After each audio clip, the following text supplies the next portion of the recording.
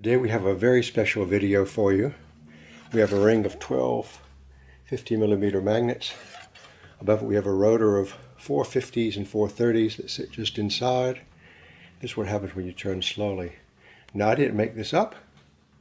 This was based on the famous crop circle at Stephen Castle's Down in 2000, July 1st. Here's a schematic of it.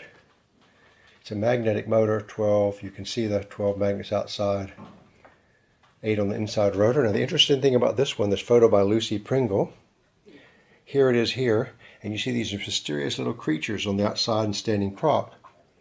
And they certainly look like angels to me with wings. What do you think?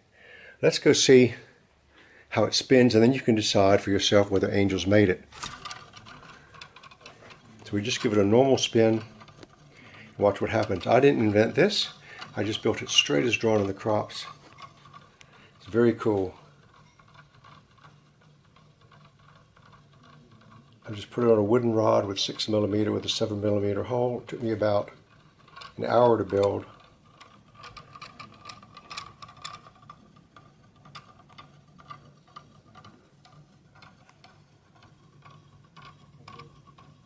Spins quite nicely.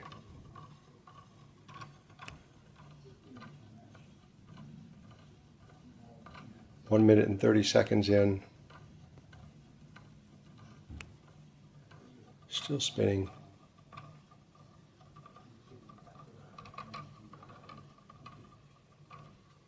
Bouncing up and down a little bit as it spins as you go from 50 to 30. There's 8 on the inside, 12 on the outside. They're all north up. It's like Vernier effect between 8 and 12. It's still spinning here at 2 minutes. Slowing down about 2 minutes due to friction with the rod. Let's just watch it slow down. It really wants to spin wobble, wobble, spin, spin, and it stops at about two minutes. Now, just to remind you, this comes from the Stephen Castle Down Crop Circle of July 1st, 2005. Schematic, no one could possibly make this on your own. Photo by Lucy Pringle, there. Zoom in, you see something there, some of the magnets. Looks like angels made it to me. What do you think? You can decide for yourself.